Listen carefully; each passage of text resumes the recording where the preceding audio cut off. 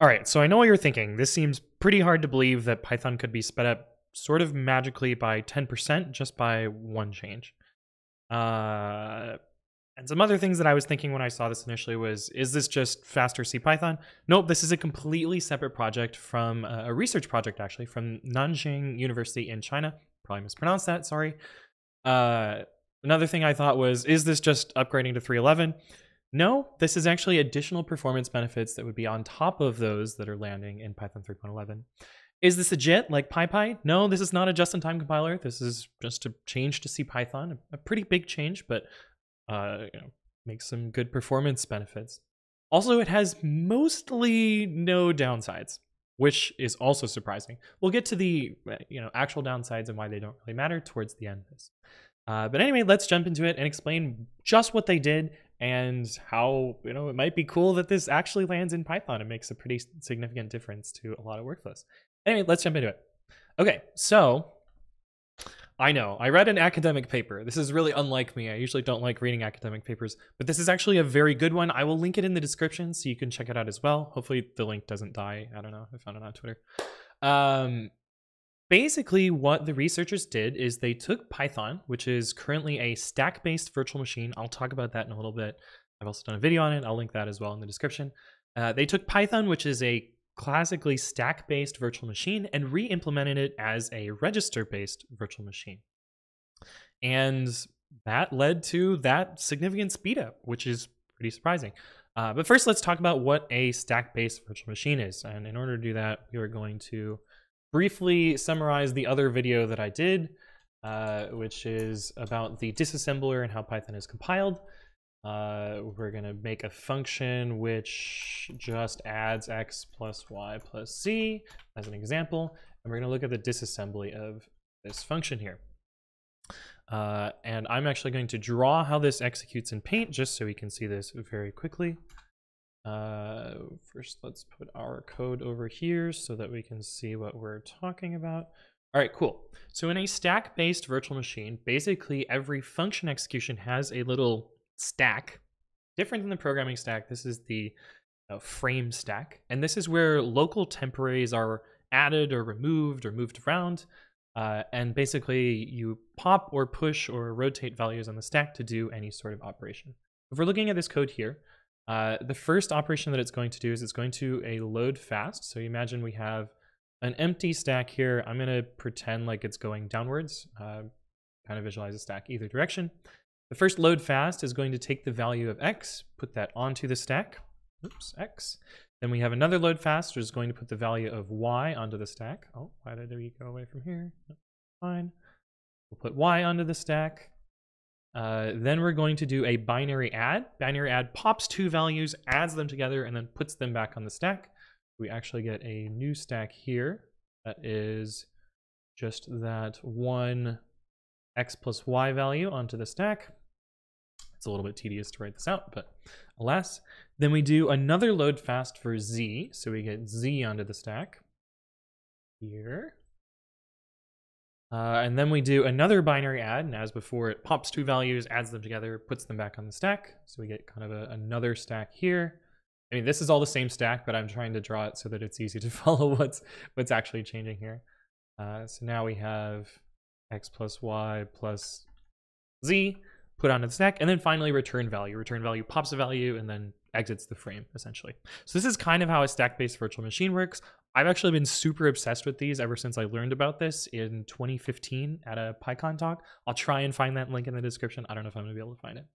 Um, but a lot of virtual machines, a lot of programming languages that execute bytecode uh, work this way. You know, Python is one example.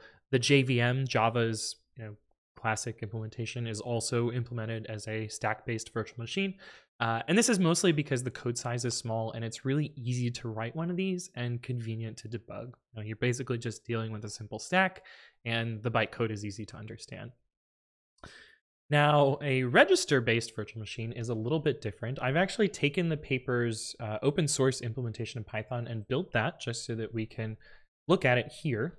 Uh, VM reg C Python. Um, they they list the um, the git URL in the in the paper. Uh, but here is that git URL if you want to clone it and build it and try this out for yourself because um, I've been playing around with a bunch of my projects and they all just work, which is great. Uh, but if we take reg CPython uh, and run this same function that we have up here, def f x y z, return x plus y plus z, and we disassemble this same function here, you'll see that it looks pretty different. Instead of having a stack, we now have these special registers. In this case, dollar sign zero is the name of a register. Uh, when we do this binary add operation, it's going to access x and y directly, putting them into a register. Uh, then it has to do another binary add to add that intermediate value plus z and stick that into the register. And then finally at the end, it's going to return the value. So we get a, a little bit simplified of a version here. Uh, and I'll show you kind of how that executes here. So instead of having a programming stack, let's actually open up another paint so we can kind of compare the two. Instead of having a programming stack, we instead have kind of a vector of um, registers. This is very similar to how your actual processor executes. So if you're if you're familiar with assembly language, you'll have a you know a series of, of registers that are on your processor and they'll swap values in and out of there. That's an oversimplification, but you can imagine you know, something like that. Now, the way the registers work in this implementation of register CPython is there is a variable number of them and they are stored on the programming frame. In this case, our bytecode only deals with a single register. So you could imagine instead of having that stack that goes up and down, there's now just a single uh, block of memory here. And that is colloquially referred to as dollar sign zero. You could also have more registers. So if we, you know, if we had a, a program or if we had a function that needed more intermediate values, you would you know, continue to number them um, increasingly, and you'd get kind of this this array of registers here. And so the way this this executes is actually a lot simpler to reason about, or at least for me, it's a lot simpler to reason about. Uh, I guess I said earlier that stack-based machines are simpler to reason about, so I don't know. I think they're both pretty easy to reason about, but this one, you know, involves a little bit more moving parts.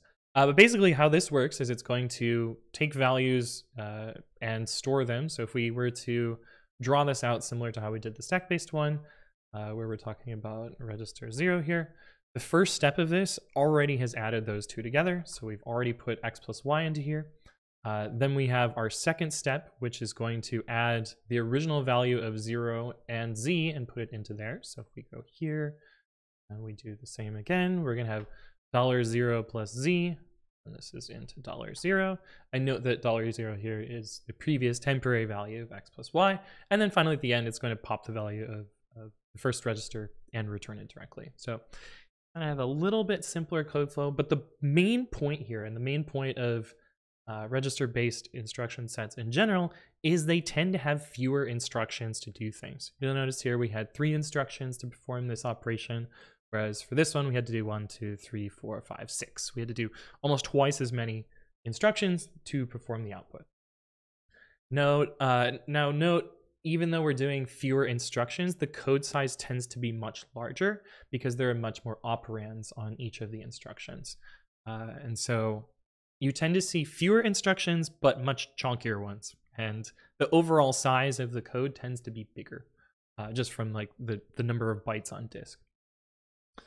Um, yes, and the and the paper that did this confirmed this as well. Uh, they showed that the bytecode size on disk on average increased by about 4.4 percent. Uh, and that the memory footprint of compiling code increased by about 1.4%. So things were a little bit bigger, a little bit chunkier, but that was a trade off to make things way faster. All right, so let's talk about why it's faster. And I'm summarizing the paper a lot here. The paper goes into a lot of details and goes over, you know, a whole bunch of benchmarks. It also explains this same stack-based and register-based thing. Um, their little bytecode thing there, how they compiled it. Uh, where's their benchmarks graphs? Yeah, so they have a bunch of benchmarks graphs. I'm gonna go over a handful of them that I thought were useful. Uh, and I pre-run these because they take a really long time to, to run. Uh, I ran five benchmarks because I thought those those five might be useful to you. Uh, and if we do compare here, I basically used PyPerformance, which if you're not familiar with PyPerformance, it's kind of the standard performance benchmarking suite that CPython uses. Uh, it's different than the PyPy one. The PyPy one has some different tweaks, mostly because uh, just-in-time compilers have different needs than CPython does. Uh, but anyway, I ran PyPerformance before the, the video, and I've compiled their two outputs into here.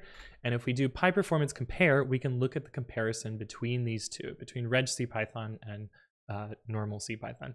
Now note here, I've compiled 3.10.1, which is the version that Reg CPython was forked from, mostly so that I have apples to apples. I compiled them with the same flags, so I turned on LTO and PGO. Uh, the paper actually doesn't turn on PGO, uh, but with PGO, their benefits are actually much higher. So I'm kind of surprised the paper didn't do that to claim a bigger number, but I don't know, it's academic, so they probably wanted.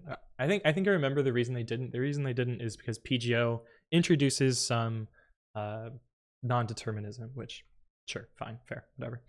Um, but you'll notice here that we see some benchmarks that are significantly faster than the standard CPython, the stock CPython.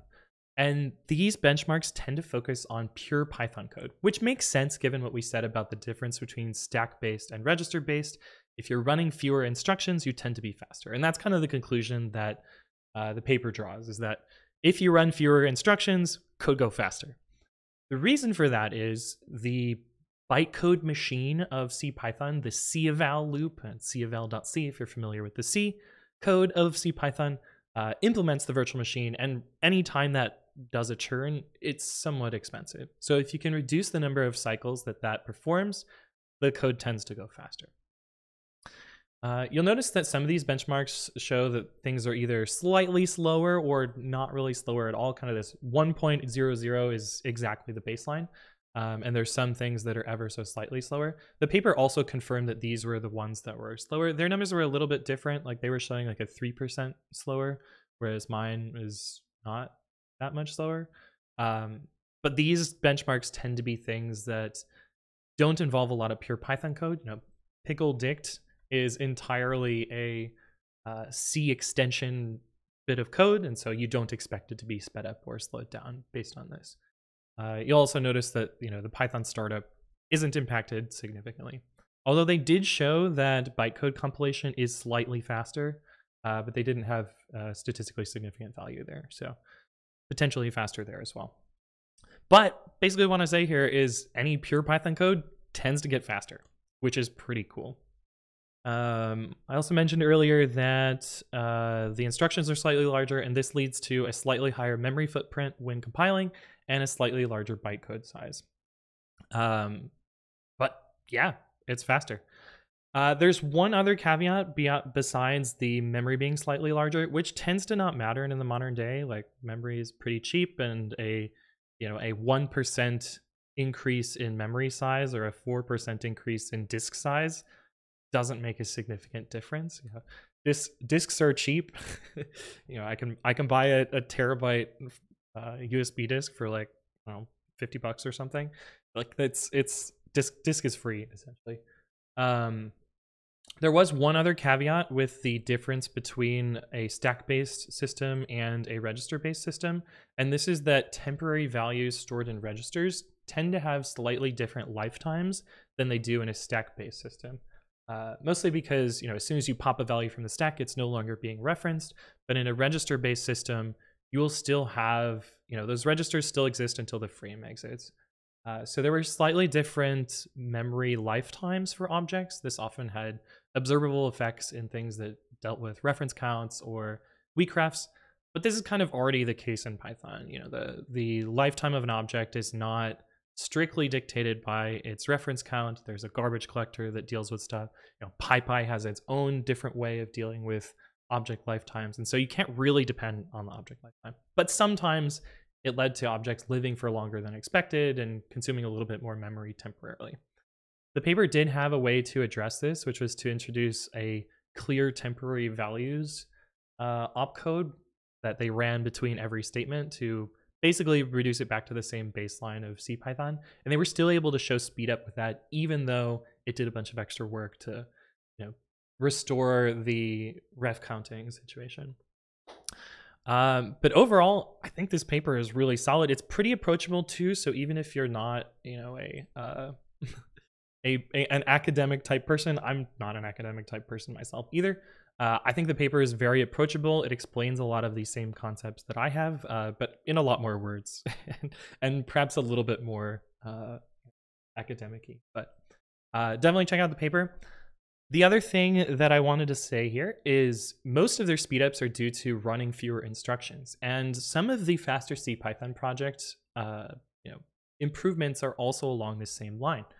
Uh, one particular proposal that came out, uh, it's almost a year now. It feels it feels recent to me, but it's been a long time uh, coming. Is the idea of reducing instructions by combining uh, common ones. This is another way to reduce the number of times that that C eval loop happens. This, for instance, by by Guido is proposing a load fast, load fast, which uh, takes a common paradigm of running these two opcodes uh, at the same time, and instead having a double load fast, which loads two things at once. Um, Basically, this load fast also runs this one at the same time, only doing one C eval loop. The idea being, you know, reduce the number of times you loop the VM, code goes faster. Uh, but anyway, that's Reg C Python. I thought this was really cool. I hope you find it's really cool too. If you have additional questions, leave them below or reach out to me on the various platforms. But thank you all for watching, and I will see you in the next one.